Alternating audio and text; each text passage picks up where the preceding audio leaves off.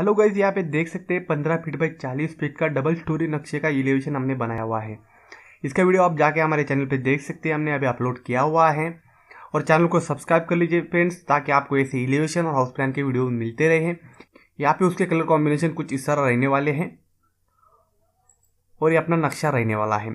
अगर इसका detail video देखना चाहते हैं तो चैनल पर जाके देख सकते हैं। Thank you for watching guys